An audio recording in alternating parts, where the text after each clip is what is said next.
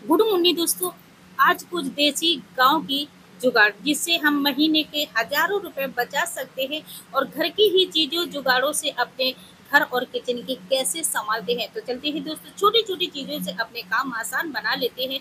बच्चों को pizza burger Maggi नहीं खिलाते हैं। बच्चों को पेट भरते हैं, स्वस्थ रखते हैं और इस तरीके से छोटी छोटी चीज़ों में अपनी खुशी ढूंढ लेते हैं। घर की मच्छर मक्खी भाग जाएँगे, घर महक जाएँगे। छोटे छोटे कपड़ों से इस तरीके से गद्दा, तकिया बना लीजिएगा। बच्चों को किस तरीके से हम अपने बच्चों की ख्याल रख सकते हैं? तो दोस्तों, ये सारी वीडियो में आपको देखने को मिलेगा वीडियो ज़रूर एंड तक देखिए नानी नादी रसोई में आप सभी का स्वागत है। तो चलते हैं दोस्तों, देख लेते हैं पहला टिप्स अब इस तरीके से कद्दू आता है, जैसे शाम को आता है, सुबह हमें इसको बनाना है। तो अगर रात में रख देंगे फ्रिज है नहीं तो ऊपर ये बिल्कुल सूख सा जाएगा। तो इसमें हमें क्या करना है, थोड़ा सा एक बूंद तेल लगा देना है। अब देख लेते हैं दोस्तों जब कद्दू काटते हैं तो उसका जो जूस होता है, वो हाथों में ऐसा चिबड़ जाता है जैसे फेविक इसको बार बार धुलने में फिर भी नहीं जाता। अगर थोड़ा सा सूख गया तो परेशान हो जाए, कितनी बार आप साबुन लगाएँगे, मगर वो जल्दी नहीं छूटता। तो हमें एक बूंद तेल लगा लेना है हाथों में। बहुत आसानी से इसको हम कट कर पाएँगे। तो दोस्तों, इस तरीके से छोटी छोटी चीज़ों से आप काफ़ी अपने काम बना सकते हैं। अब दोस्तों, जैसे लग गया जूस तो आपका समय ही बर्बाद होगा और ढेर सारा आप साबुन का बर्बाद करेंगे। तो ऐसी बहुत सी चीज़ें होती हैं जिससे दोस्तों हमें जल्दी भी पड़ती है और इस तरीके से हमें कहीं जाना है तो जल्दी भी पड़ती है और क्या करें? तो इस तरीके से अपने छोटी छोटी चीज़ों से अपने काम आसान बनाए झट काम हो जाएँगे और कद्दू भी काट, इसके बाद जब आप काट लें, इसके बाद आप साबुन से हाथ धुल लीजिएगा तो इस तरीके से कद्दू बहुत अच्छे से कट जाएगा, आपका दो तीन दिन तक रखा भी रहेगा, अगर इसके ऊपर थोड़ा सा तेल का लेप लगा दे, बिना फिर से कोई भी इसमें सूखापन नहीं होगा। तो चलते हैं दोस्तों, अगला टिप्स देख लेते हैं। जो बच्चे स्टिक होती है ना, बच्चे आइसक्रीम खाते हैं, उसकी स्टिक बचती है। तो इस तरीके से स्टिक लीजिएगा। अब ये दोस्तों एक देसी गाँव का जुगाड़ है, जिससे हमें कैंची की ज़रूरत पड़ती है। अगर बार बार कैंची उठाते हैं बड़ी कैंची होती है तो उसको फिर मन भी नहीं लगता। तो ये एक हमें ब्लेड का टुकड़ा लेना है, जो टूटा हो, पुराना हो, और थोड़ा ही चलता हो। तो इस तरीके से कुछ उसमें गम लगा लेना है, ये फेविक जो आपके पास हो गोंद हो, और इस तरीके से दो स्टिक को इस तरीके से लगा लेना है। अब हमें जब टैप की, काटने की कैची की ज़रूरत पड़ती है तो इस तरीके से आप इसको बहुत अच्छे से इससे कट कर सकते हैं। कोई भी चीज़ इससे आप कट कर सकते हैं, पेपर वगैरह है, वो भी कट कर सकते हैं। तो ये एक बढ़िया सा टूल बन करके रेडी हो गया है।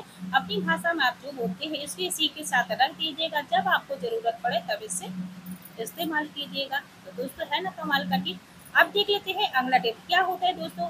हम लोग के पास क्या है, जो बड़े बड़े लोग होते हैं, सिटी के लोग होते हैं, बच्चों को पिज़्ज़ा है, बर्गर है, मैगी है, ये पास्ता जी चीज़ खिलाते हैं, मगर हम लोग अपने बच्चों को पेट भरते हैं, स्वस्थ रखते हैं छोटी छोटी खुशी में अपनी खुशी ढूंढ लेते हैं, बच्चों को बीमार नहीं करते, बच्चों की आदत बिगाड़ते हैं।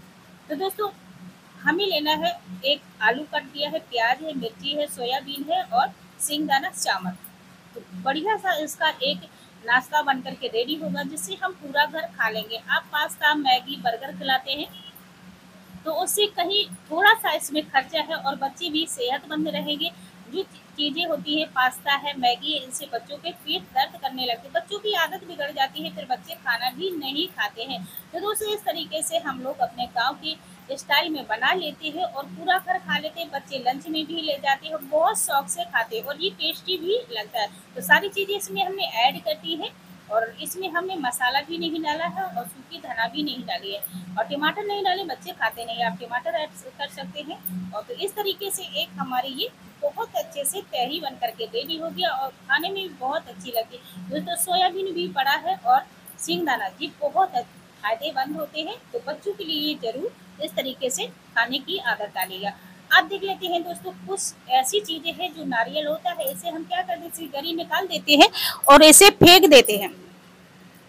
तो बिल्कुल नहीं फेंकिएगा और इसे कैसे इस्तेमाल करना है तो दोस्तों, इससे आप आपका घर पूरा महक जाएगा, मच्छर मक्खी पूरा दूर हो जाएगा, आपको कोई मॉस्किटो कुछ भी ज़रूरत नहीं पड़ेगी। जो महँगी महँगी चीज़ें हम ले आते हैं मच्छर भगाने के लिए।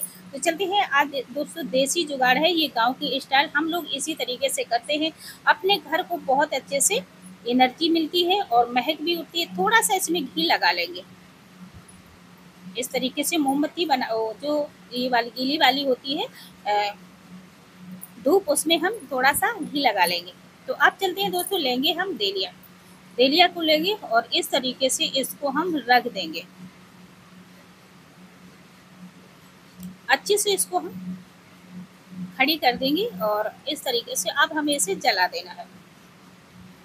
अब क्या हो दोस्तों, अगर इस तरीके से रखेंगे तो हवा चलती है और ये हवा चलेगी और तो इस, ये बुझ जाएगी बार बार बुझेगी, फिर इसमें धुआँ जो निकलता है वो नहीं हो पाएगा। और इसमें जो हमने घी लगाया है, अब ये रात भर इसी तरीके से सिलो सिलो ये जलती रहे और बहुत अच्छे से महक होगी। अब हमें क्या करना है? इसको ढक देना है।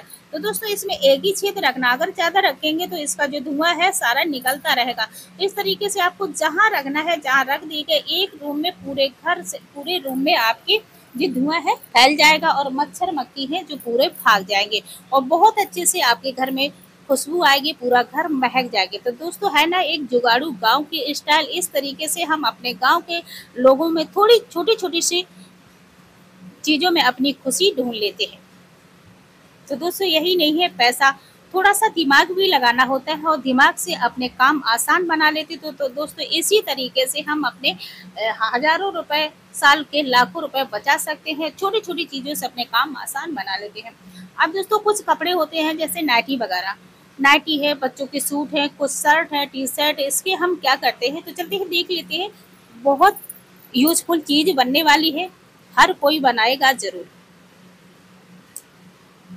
तो ये नाइटी क्या, इसका कलर जो इस तरीके से होती है, या फिर कोई भी कपड़ा, आप कोई भी कपड़ा लीजिएगा और इस तरीके से आपको चार बाई चार या बारह बाई, जितने का आपको नप करना मैंने बता दिया है।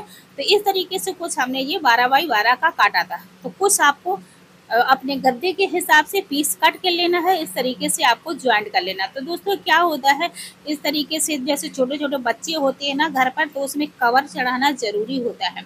तो इस तरीके से आप बना लीजिए और कोई साड़ी हो तो ये दोस्तों जैसे साड़ी पुरानी हो गई है, कुछ हमें दान में मिलती है, दान की बचिया की कभी पूछ नहीं होती तो ये पहनने भी लायक नहीं अच्छी भी नहीं लगती तो इस तरीके से हमें इसका एक कवर बना दिया है।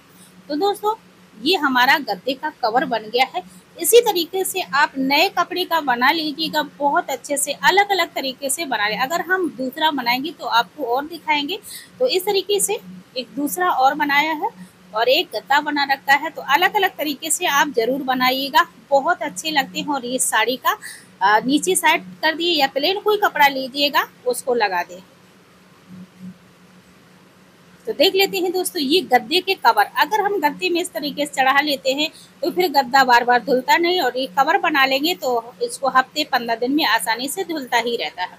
और देखने में भी बहुत अच्छा लगता है। तो दोस्तों, इसमें तीनों नाइटी लगी, उसमें सारे कपड़े लगे हैं, कहीं सूट है, कहीं कुर्ती का है। तो इस तरीके से उसमें लगे इसमें तीनों नाइटी हैं। तो इसी तरीके से दोस्तों अपने घर की जी चीज़ें हम मार्केट में लेने जाते हैं तो बहुत महँगी महँगी मिलती है। तो इसी तरीके से आप छोटे छोटे जो कपड़े होते हैं, जैन घर में सिलाई होते हैं, वो बहुत अच्छे से इसको बना सकते हैं। तो दोस्तों, देख सकते हैं, पूरा जॉइंट है, ये अभी साड़ी है, इसमें एक तरफ़ हमने सिल दिया था तो रात हो गई थी, इसके बाद इसको रख दिया तो हमने सोचा इसको चलते दिखा देते हैं। तो बहुत अच्छे से आप बना सकते हैं। आप देख लेते हैं, जो बच्चों के जो बाल होते हैं, लोग क्या करते हैं कुछ अलग अलग तरीके से महँगा महँगा तेल लगाते हैं, महँगी महँगी इसमें चीज़ यूज़ करते हैं, मगर क्या होते बाल नहीं बढ़ते तो दोस्तों, कोई महँगी चीज़ नहीं लगाना है, सिर्फ़ थोड़ा सा पाँच दस मिनट का आपको टाइम निकालना है। कोई सा तेल है तो तेल हो, वो आपको डाल देना है। तो दोस्तों, हम क्या करते हैं, इस तरीके से हमने तेल तेल थोड़ा ज़्यादा डालना है और जैसे हम कर रहे हैं, आपको उसी तरीके से सिर्फ़ पाँच मिनट आपको तेल डालने में लेना है। इस तरीके से नाखून नहीं लगाना है तेल जो फिंगर होती है, उसको आपको सटाना। दोनों हाथों से इस तरीके से ऊपर डाल देंगे और थपथपा देंगे तो सारा तेल नीचे आ जाएगा। आपको इस तरीके से मालिश करना है। कोई सा तेल, आपका कड़ुआ तेल हो, कोई हम दोस्तों जो सरसों का, देसी सरसों का जो काली लाह होती, उसी का तेल डालते हैं। जो गर्मी पड़ने लगती है, तब इसका थोड़ा आंवला का तेल डाल देते हैं। नहीं, शुरू से हम इसमें सरसों का जो तेल था, इसी तरीके से डालते हैं। थोड़ा तेल ज़्यादा डालना पड़ता है, पाँच मिनट का समय निकाल अब जो पुंछी है दोस्तों, इसको महीने में एक बार ज़रूर कट करें। अगर आपकी जो पुंछी दो नखे की होगी तो आपके बाल बिल्कुल नहीं बढ़ेंगे। जी दोस्तों, कोई बनावटी नहीं, कोई चीज़ हम नहीं डालते हैं, और इसी तरीके से सरसों का तेल जब ठंड पड़ती है तो हम सरसों का, शुद्ध सरसों का तेल जो घर का होता है, वही डालते हैं। सिर्फ़ इस तरीके से हमारा डालने का तरीका थोड़ा अलग। कोई भी आप तेल डालो, मगर डालने का पाँच मिनट समय निकाल लीजिए, पहले तेल को डाल दीजिए, इसके बाद थपथपा दीजिए, फिर फिंगर से लगा। तो आपके भी बच्चों के बाल बहुत अच्छे से बढ़ेंगे। आप देख लेते हैं दोस्तों, नवरात्रि आ रही तो नवरात्रि की एक छोटी सी टिप्स इस तरीके से मार्केट में मीटर के हिसाब से 10 15 20 रुपए में मिल जाता है मीटर के हिसाब से। तो आपको ले जी, अगर इस तरीके से आप लेने जाएँगे तो ये ही पचास बीस रुपए का मिलेगा। और एक मीटर में आप छह से सात बन जाएगा। तो थोड़ी सी लैस लीजिएगा और मशीन आपके घर में तो इस तरीके से चुन्नी बनाइएगा, थाल पोस बना लीजिएगा। इस चीज़ों की हमें नवरात्रि में जैसे पूजा करने जाते हैं तो ज़रूरत पड़ती ही पड़ती रहती है।